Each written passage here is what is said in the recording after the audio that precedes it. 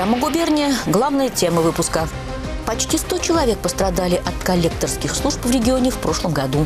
От угроз и запугиваний коллекторы иногда переходят к незаконным действиям. Расскажем, что делать, если стал жертвой коллекторов. Яковлевская мануфактура в Приволжске закрывает производство. Работникам выдали уведомление о том, что предприятия меняют юридический и фактический адрес. Сотрудникам предлагают работу в Костроме. Рекультивация на Минской. Насколько опасно 9 гектаров под мусором? И что будет на месте многолетней свалки? Сам буду приходить сюда купаться. Да, через сколько лет? Да я думаю, буквально, наверное, через пару лет. Здесь могут все желающие, все. Маленькие, большие девочки, мальчики, любые.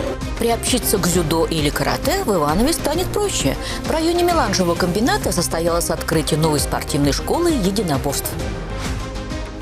В майском дне не хватает мест для размещения животных. Приют нуждается в клетках для кошек и собак. Это одна из острых проблем майского дня.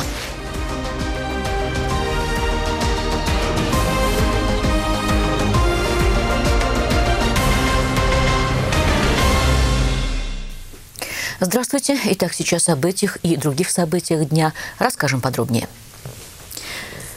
Иванове начинают рекультивировать нелегальную свалку на Минской улице. В понедельник с подрядчиком в администрации города был подписан контракт. Все детали обсудили на выездном совещании прямо там, где пока что тоннами лежит мусор. Наталья Сергеева расскажет подробнее. Этому мусорному наследию советского прошлого более 35 лет. Свалка образовалась самовольно, стихийно и, конечно, незаконно. Отходы на площади более 9 гектаров копились и временами воспламенялись. Администрация вместе с Департаментом экологии решили, мусорный объект надо рекультивировать. Сначала разрабатывался проект, с которым удалось войти в федеральную программу «Чистая страна» и получить финансирование более 100 миллионов рублей. Свалка всегда была местом притяжения для охотников за металлом. А еще сюда долгое время несанкционированно свозили другие отходы целыми КАМАЗами. Сейчас вопросами охраны территории будет заниматься подрядчик, а уже за его работой можно будет следить через камеры видеонаблюдения, которые установят на территории. Подрядчик фирма «Велес», гости из Московской области. Говорят, опыт работы в деле свалок и их рекультивация большой. В течение пары месяцев уладит бумажные вопросы, детализирует и согласует с федеральным надзорным ведомством план работ.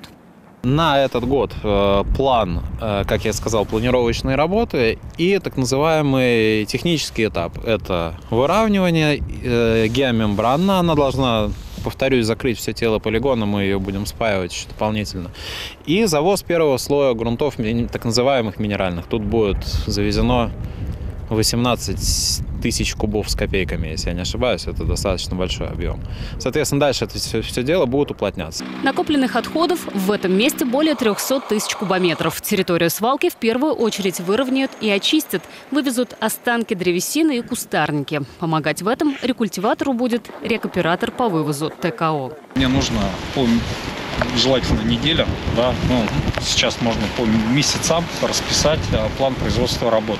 Проектированием работ по экологической реновации этого объекта занималась Ивановская организация. Местами залежи мусора по ее подсчетам достигают 10 метров. Также фирма брала отходные пробы и проводила на базе химуниверситета лабораторные исследования.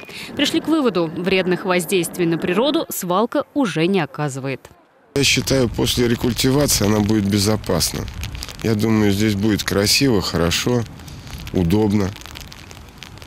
Даже могу сказать, что будет озеро, которое будет с атмосферными осадками, с чистыми осадками, которое будет, думаю, даже привлекать детей. То есть можно будет купаться здесь? Я думаю, да, сам буду приходить сюда купаться. Да? Через сколько лет? Да я думаю, буквально, наверное, через пару лет. Для города это объект важный, и к нему повышенное внимание. Место площадью более 9 гектаров – просто помойка, а могло бы стать плодородной почвой для разных проектов. Решение это будем а, принимать вместе с жителями. Если понравится травка и озеро, ну, я думаю, что тоже все решаемо. Но, конечно, мы рассматриваем этот участок в будущем как промышленного назначения для того, чтобы именно на территории города у нас а, была возможность открытия новых предприятий, создания новых рабочих мест. Активной стадии рекультивации подрядчик приступит в апреле-мае 2022 В следующем году вторым этапом здесь уже начнут укладывать плодородный грунт и засевать его травой. Окончание рекультивации наметили на 31 октября 2023 года. Наталья Сергеева, Виктор Иванов, телекомпания «Барс». Коллекторские службы продолжают беспокоить ивановцев. В нашу редакцию поступают жалобы на угрозы и запугивания со стороны таких организаций. Куда обращаться и что делать, если стали жертвой угроз? Ответим на вопросы и вспомним историю в Шуе, где якобы от рук коллекторов загорелся частный дом. 143 обращения от жителей поступило службе судебных приставов за прошлый год. Половина из них подтвердилась. Чаще всего под удар таких организаций попадают люди, которые не связаны с долгами напрямую. Нередко в финансовую яму попадают родственники. А отбиваться от звонков и угроз приходится непричастным. По словам приставов, бороться с коллекторами трудно. Максимальное наказание для таких организаций – штраф. Всего в областном реестре 7 фирм, которые занимаются возвратом просроченных задолженностей. Нелегальных – десятки. Именно они представляют большую опасность, вплоть до угрозы жизни в рамках 10 обращений, соответственно, должностными лицами управления приняты процессуальные решения. Так составлено 10 административных протоколов по статье 1457 Кодекса административных правонарушений. Соответственно, юридические лица привлечены к административной ответственности. В соответствии с решением суда им назначено наказание – в виде административного штрафа в размере от 40 до 75 тысяч рублей. На прошлой неделе в Шуе горел частный дом. По одной из версий, в громком деле замешаны коллекторские службы, которые не могли найти должника. Обстоятельства поджога выясняют правоохранители и судебные приставы. Нашими работниками осуществлен выезд по месту происшествия, отобрано заявление потерпевшей стороны, соответственно, в рамках которого заявление, данного заявления возбуждено дело административного правонарушения, инициировано проведение административного расследования. Соответственно, по итогам административного расследования будет принято решение о причастности коллекторов к этому происшествию или нет. Если кто-то попадает в подобную ситуацию, служба судебных приставов рекомендует обращаться с письменным заявлением в главное отделение города. Денис Воробьев, Виктор Иванов, телекомпания «Барс». В распоряжении нашей редакции оказалось эксклюзивное видео с места ДТП на железнодорожном переезде. Ранее мы рассказывали об этом столкновении легкового автомобиля и скоростного поезда «Ласточка». ДТП произошло на прошлой неделе. Около двух часов дня 45-летний водитель Рено Сандера выехал на железнодорожный переезд на красный сигнал светофора. Желание быстро проскочить пути обернулось трагедией. В последний момент поезд буквально смел проезжавший пути автомобиль. В результате ДТП водителя с серьезными травмами доставили в больницу. Рейс «Ласточки» задержали на несколько часов. Локомотив получил механические повреждения. По нашей информации, Яковлевская мануфактура в Приволжске закрывает производство. Работникам накануне выдали уведомление о том, что предприятие меняют юридический и фактический адрес. Сотрудникам предлагают работу в Костроме на Костромской льняной мануфактуре. У обоих предприятий один собственник, холдинг ТДЛ, зашел в Приволжск вместо фирмы «Роско» в конце 2016 года. Тогда предприятие тоже лихорадило. Сотрудникам льнокомбината предлагали написать заявление об уходе по собственному желанию. Они, в свою очередь, записывали обращение к губернатору. Ситуация на несколько лет стабилизировалась. В мае 2020-го вновь зашла речь о сокращении штата и переводе части сотрудников в Кострому. Как нам тогда пояснял финансовый директор мануфактуры Александр Андронов, предприятие загружено лишь на 10-15% от своей мощности, и это делает работу экономически нецелесообразной. К ситуации подключилось правительство области, плюс тогда были приняты некоторые меры поддержки легкой промышленности на федеральном уровне. Было заявлено о сохранении Яковлевской мануфактуры. Впрочем, это было больше политическое решение, чем экономически обоснованное. И вот теперь производство закрывают. Закрытие носит планомерный характер, пояснил нам представитель собственника Роман Петров. К этому готовились более двух лет и регулярно взаимодействовали с руководством районной администрации. Более подробный комментарий о ситуации с Яковлевской мануфактурой, о перспективах трудоустройства работников предприятия мы планируем получить в четверг. Татьяна Прокопенко, телекомпания «Барс». В правительстве прокомментировали, что экономический блок знает о проблеме в Приволжском предприятии. Основные усилия сейчас направлены на то, чтобы урегулировать ситуацию на рынке труда в райцентре и не оставить сотрудников мануфактуры без работы. И еще об одном закрывающемся предприятии. В Иванове распродает оборудование одна из старейших швейных фабрик «Айвенга».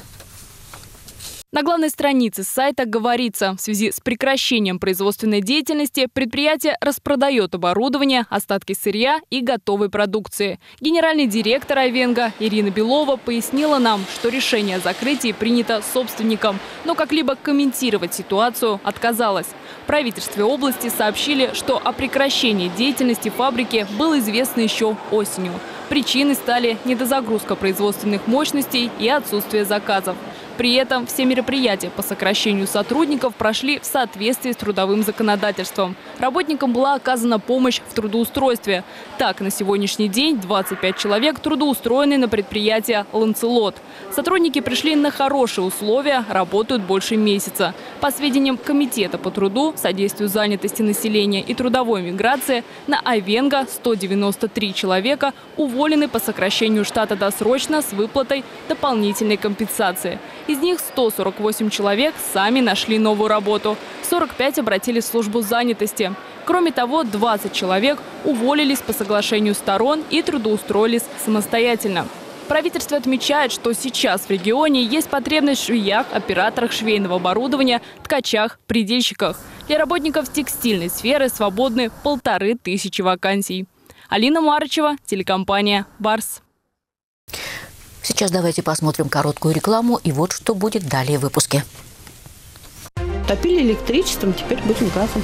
Газопровод от точки врезки до границы земельного участка семьи Ежовых подвели бесплатно. Каким образом стать участником государственной программы до газификации, расскажем в сюжете. Здесь могут все желающие, все. Маленькие, большие девочки, мальчики, любые.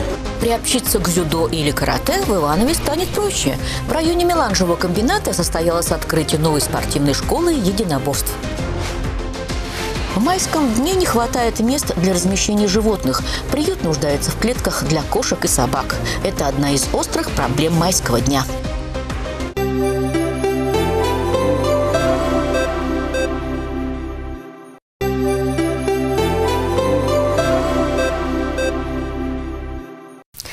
Области продолжается реализация государственной программы догазификации. Она принята по инициативе президента с целью развития регионов. В Ивановской области в течение этого года планируется догазифицировать около 6 тысяч жилых домов. Во вторник работники акционерного общества «Газпром» газораспределение Иваново провели пуск газа в деревне Прислониха. Ирина Афонина подробнее. Стать участником государственной программы бесплатной дегазификации на данный момент выразили желание более трех тысяч домовладельцев. 2300 заявок «Газпром» газораспределение приняло в производство. Заключили 1800 договоров. Программа дегазификации э, – это строительство э, бесплатно, отмечу, э, газопровода от точки врезки распределительной сети – до границ земельного участка заявителя 827 договоров исполнено, как раз выстроены эти сети до границ земельного участка.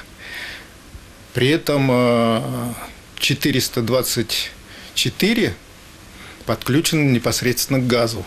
Программа дегазификации будет реализовываться в течение нынешнего года. Планируется, что до конца 2022 смогут подвести газ до границ земельных участков примерно к 6 тысячам частных жилых домов. Что необходимо для того, чтобы люди поучаствовали в данной программе? То есть, во-первых, э, необходимы правоостанавливающие документы на объект недвижимости.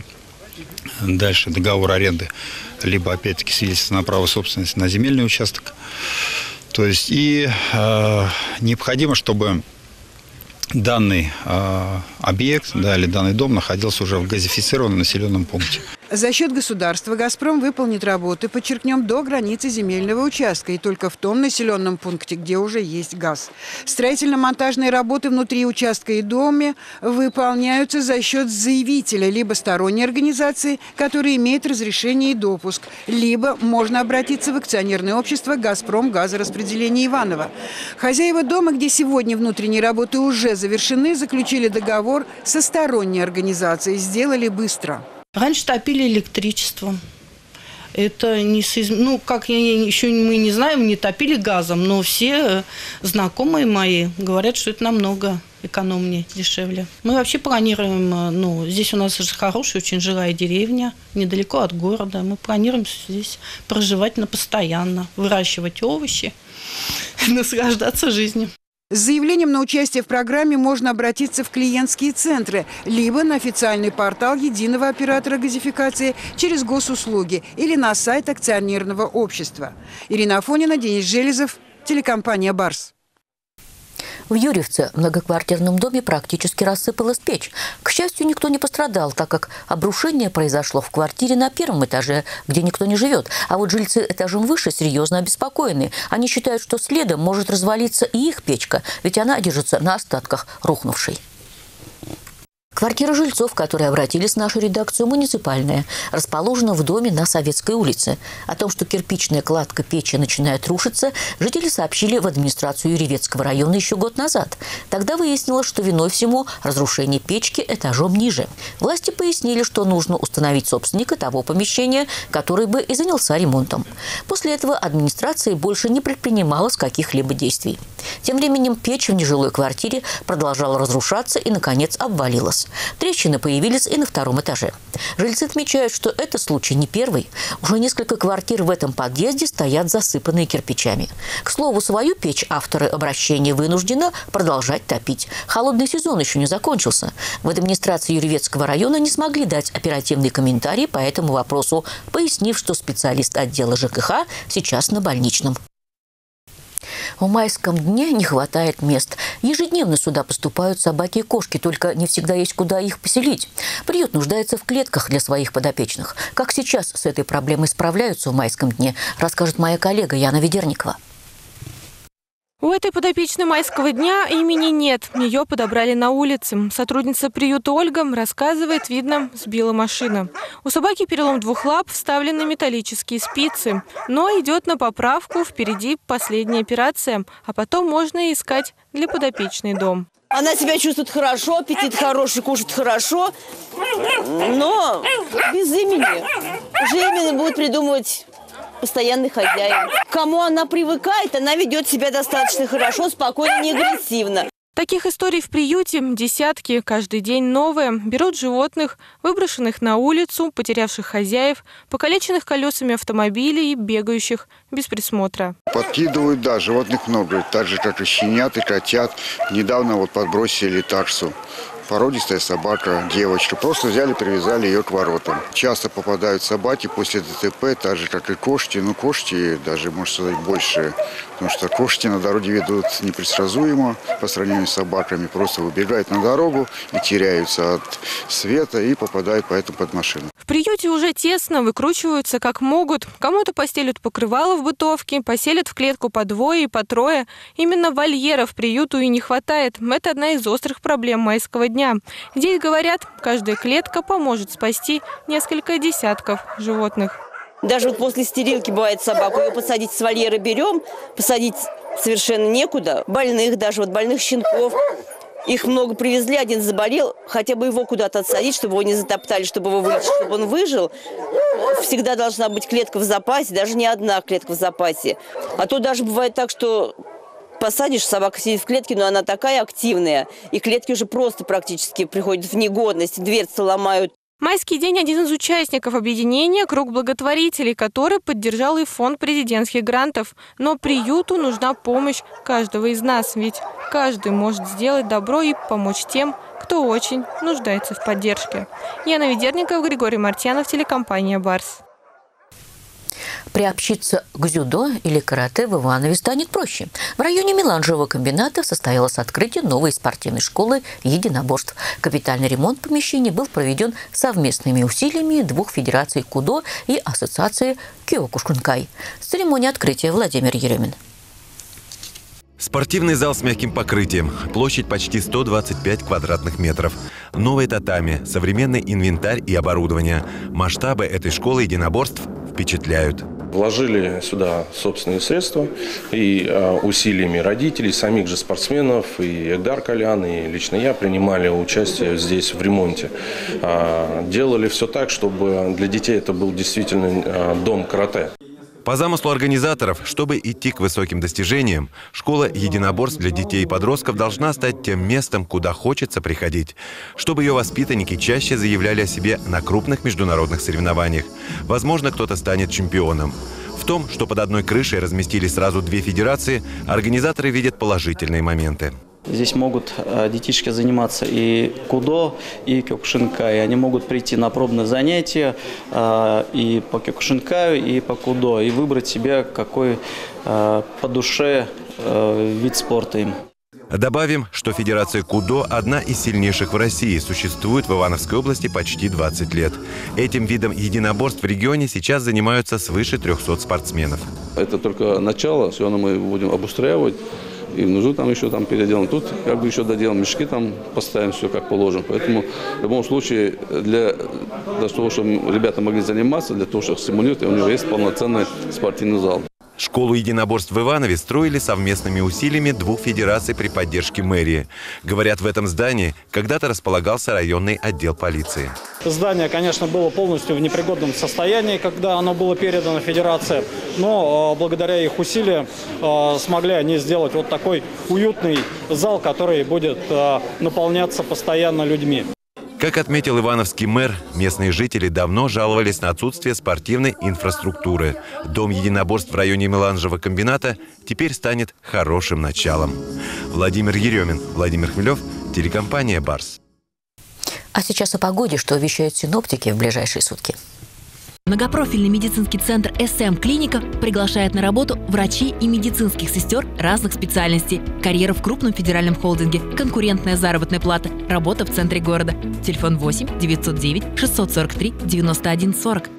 В среду в нашем регионе ожидается пасмурная погода, осадки. Температура воздуха днем 0 плюс 2 градуса. Ветер западный 3-5 метров в секунду. Атмосферное давление составит 740 миллиметров ртутного столба. Влажность воздуха 81%. По прогнозам синоптиков, в ближайшие дни ожидается похолодание на пару градусов в дневное время, в ночные часы до минус 7 градусов. А вот осадки прекратятся. Государство каждому гражданину, который платит кредит, дает право раз в пять лет списать кредитный долг. Узнайте как. Звоните 34 61 55. Сразу после новостей объявление в городской хронике. Интересные истории, видео и фотосообщения вы можете направлять на наши редакционные мессенджеры Viber, WhatsApp, Telegram. Номер сейчас на экране. Присылайте свои темы в Инстаграм или через сайт Иваново News. Спасибо, что были с нами. Всего доброго.